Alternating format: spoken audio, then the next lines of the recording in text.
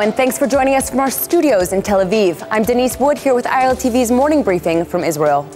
The Israeli government has approved a plan to step up law enforcement in Arab villages. The plan calls for the construction of 10 new police stations and the renovation of 10 existing stations in Arab and mixed population cities, as well as adding 2,600 new police officers to the force. The crime rate has been disproportionately high in the Arab sector, and Public Security Minister Gilad Erdan initiated the plan to narrow social gaps and increase personal security for Arab citizens.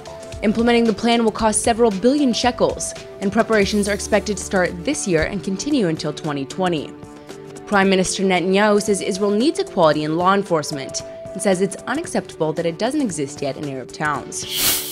The American presidential race is heading toward the New York primaries. Democratic frontrunner Hillary Clinton is presenting herself as the more pro Israel of the candidates.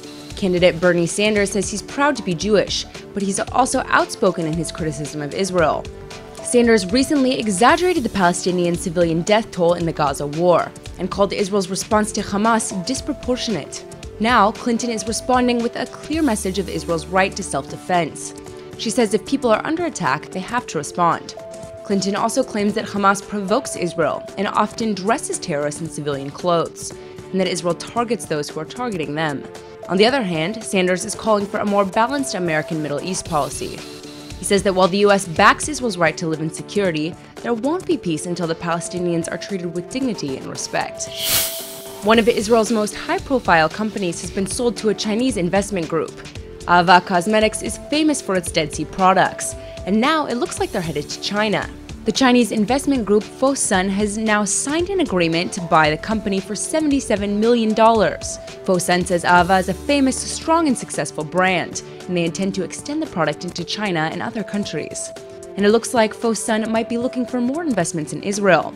The company says it's confident about the market in Israel and will seek suitable investment opportunities in different areas of the economy. The Palestinian Authority is pushing forward with a UN draft resolution condemning the Israeli settlement policy in the territories. The resolution demands a halt in Israeli construction in the West Bank and East Jerusalem, calling all Israeli settlement activities illegal and saying they're a major obstacle in advancing a two state solution. Prime Minister Netanyahu is accusing PA President Mahmoud Abbas with taking steps that will push peace talks even further away.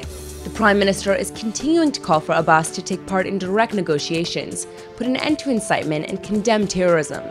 The U.S. vetoed a similar resolution in 2011, but this one is toned down without calls for a Palestinian state or international protection.